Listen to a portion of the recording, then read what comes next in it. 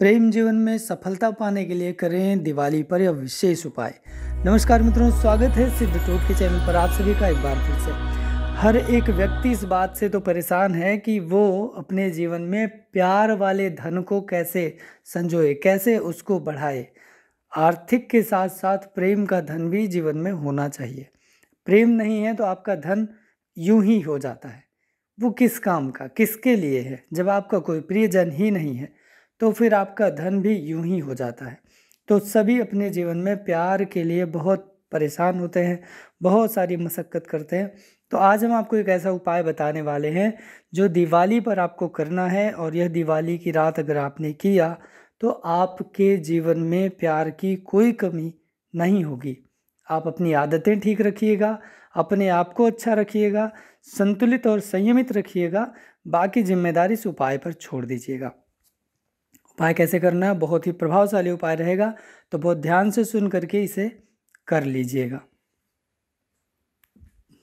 तो उपाय बताएँ, उससे पहले अगर आप नए हैं तो चैनल साथ जुड़ने के लिए सब्सक्राइब करें, साथ ही नोटिफिकेशन बेल को ऑन कर दें।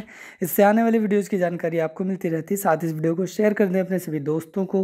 और विशेष तौर पर उन लोगों को जो प्रेमी प्रेमिका, पति या पत्नी हैं और उनके जीवन में प्यार की कमी है। विशेष तौर पर उनको करना तो सबको है, क्योंकि सबके जीवन में ये स्थिति उत्पन्न ही ना हो कि उन्हें समस्या खड़ी हो जाए। ठीक है? इस समस्या से बचाना आपकी ज़िम्मेदारी तो आप ज़रूर अपने प्रियजनों तक ये बात पहुँचाइए कि वो इस उपाय को कर लें।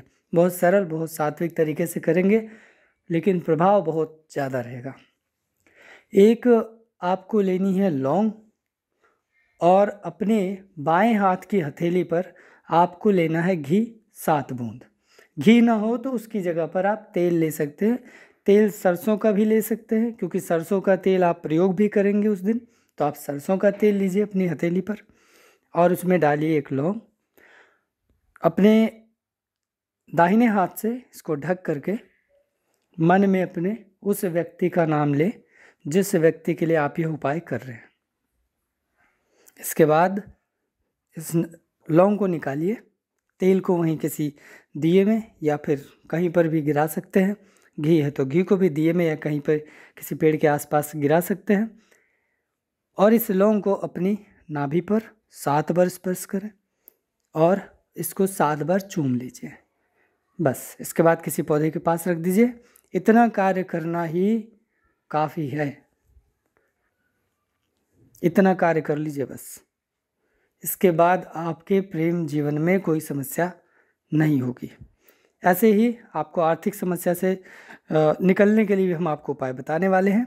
तो अगले वीडियो में इंतज़ार कीजिए। मिलते हैं अगले वीडियो में। तब तक के लिए नमस्कार। खुश रहिए।